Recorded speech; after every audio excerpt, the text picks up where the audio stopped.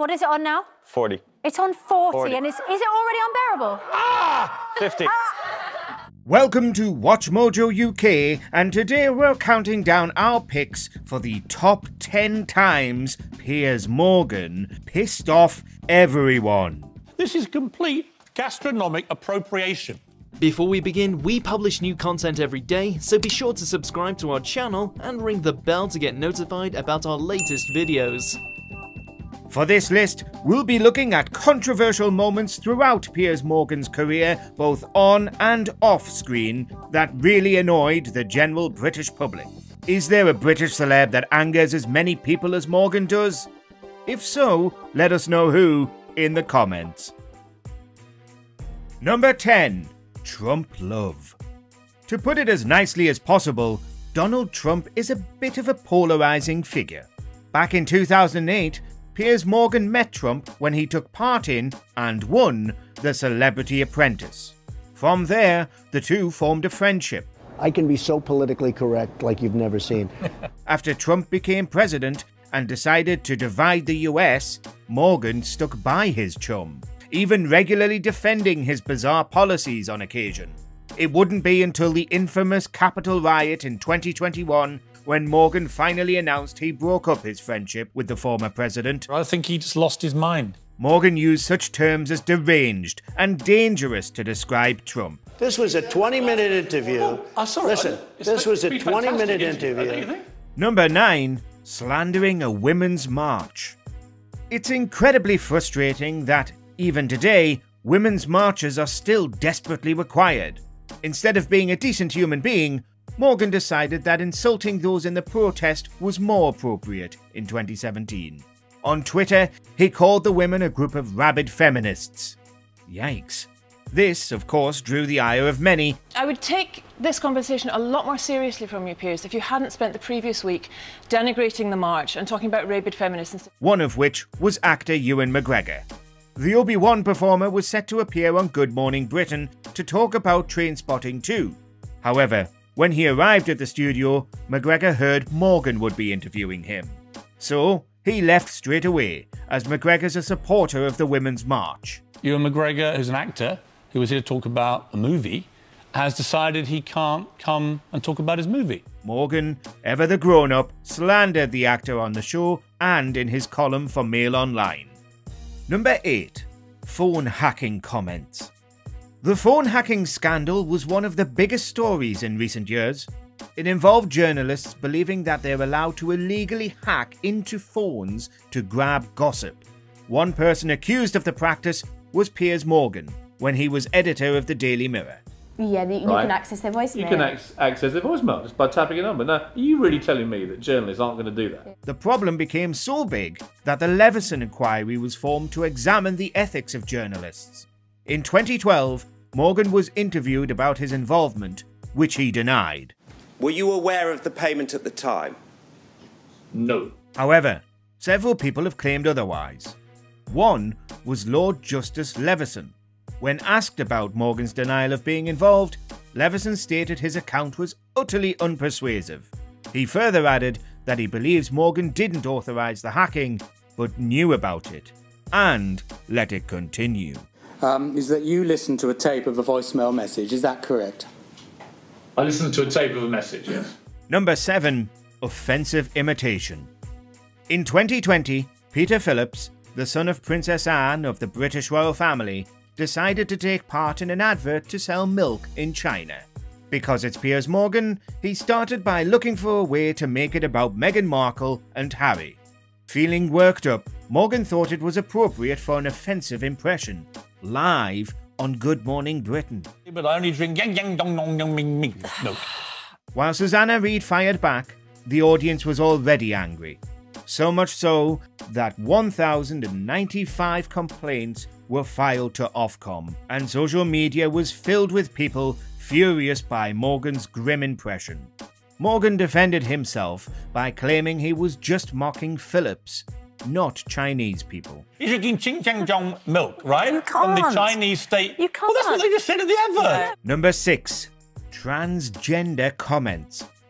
A couple of times in 2019, Morgan decided to use the same gross joke when debating trans rights on Good Morning Britain. He decided to mockingly identify as a penguin, in reference to one of them being raised as gender neutral in the London Aquarium.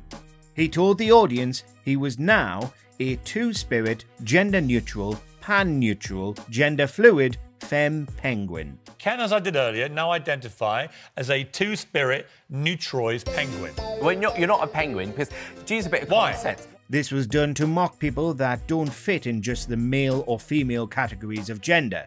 The second time, during a debate on gender identity, he whipped out that uncomfortable comment again.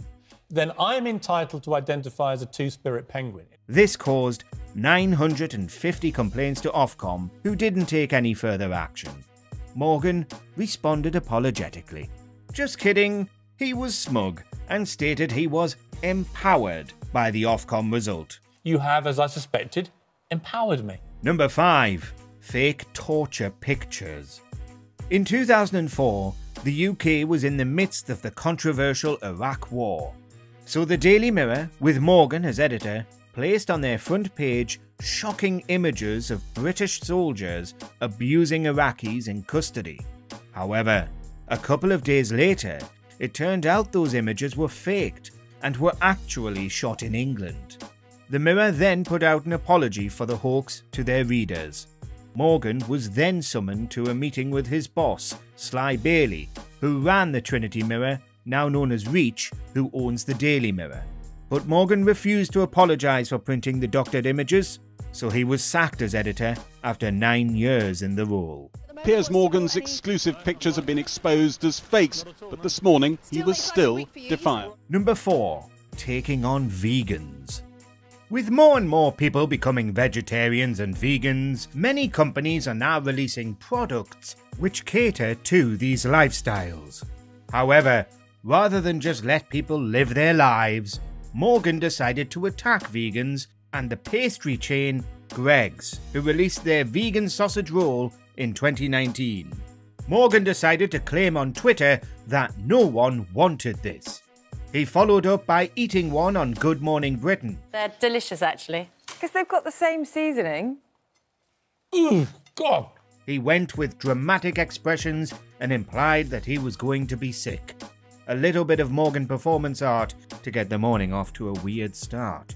Later, in 2020, Morgan admitted the stunt was done just because he was bored. In a democracy, I should be allowed to say strongly that I don't like a vegan sausage roll. Number 3. Belittling mental health. Mental health issues being spoken about publicly is vital. It's always great when a famous face can talk about their struggles. It lets people who have similar experiences feel a little less alone. But that's not good enough for Piers Morgan. In 2017, he decided to belittle all those that suffer with their mental health. Well, I suggested. going to cry. I suggested you can man up in the middle of a Wimbledon final. At the time, there were claims that around 34 million people in the UK had issues with their mental health. Morgan dismissed it and used the tedious term man up on Twitter. Former footballer Stan Collymore turned up on Good Morning Britain to talk about his experience with depression. Morgan tried to backtrack, briefly, but also claimed celebs exaggerate their battles. Some celebrities, I think, massively exaggerate their problems. as a kind of badge of, uh, of celebrity excess. Number 2. Sexist comments. In 2020, viewers of Good Morning Britain got to enjoy their coffee with a bit of sexism. Not the best start to the day. Laura Tobin, the resident meteorologist, was discussing the weather.